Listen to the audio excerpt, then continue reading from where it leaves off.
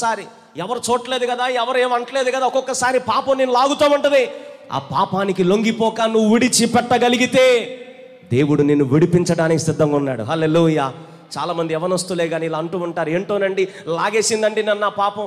ఏంటోనండి నేను మునిగిపోయానండి దాంట్లో బయటికి రావాలని నాకుంది కానీ వదిలిపెట్టలేకపోతున్నాను పాస్టర్ గారు. దాని నుండి బయటకు రాలేకపోతున్నాను పాస్టర్ గారు. ఒకవేళ నేను దాన్ని విడిచిపెట్టినా అది నన్ను విడిచిపెట్టట్లేదండి. ఆ సమస్య ఆ పాపం నన్ను విడి వదిలేనట్లేదండి. అందుకే నేను ఆ పాపంలోనే మగ్గిపోతున్నానండి. ఈ రాత్రి నీతో ప్రభు మాట్లాడుతున్నాడు లైవ్ వీక్షిస్తున్న వారితోనే కానీ కూర్చున్న యవనస్తులతో కానీ మరి పెద్దలే కానీ పిల్లలే కానీ ప్రభు నీతో మాట్లాడుతున్నాడు. నువ్వు విడిచిపెట్టగలిగితే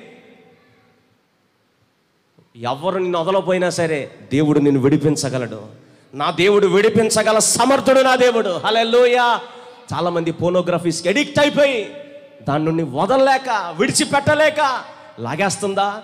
చాలామంది అమ్మాయిలు చాలామంది అబ్బాయిలు చాలామంది ఇలాంటి పాపం నిన్ను వదిలిపెట్టలేక ఒకవేళ నువ్వు వదిలినా అవి నిన్ను వదిలిపెట్టలేక నిన్ను మరి పట్టుకొని గుంజుతున్నాయా?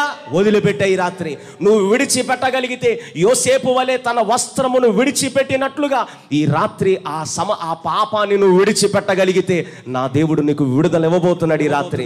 యోసేపు వస్త్రాన్ని విడిచిపెట్టి వచ్చాడు. యోసేపుని విడిపించాడు ఆమె నుండి. అంత మాత్రమే కాదు యోసేపుని గొప్పవాడిగా చేశాడు అదే దేశంలో. హల్లెలూయా.